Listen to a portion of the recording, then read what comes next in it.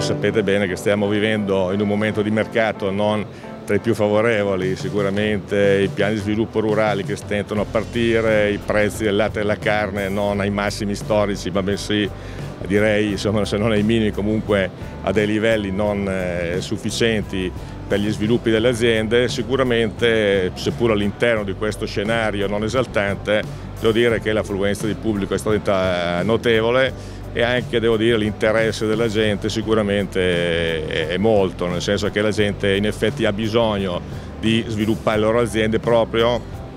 per essere pronti a far fronte a queste situazioni di difficoltà del mercato. Quindi la tecnologia è sicuramente uno degli strumenti che servono per eh, poter vincere questa difficile battaglia.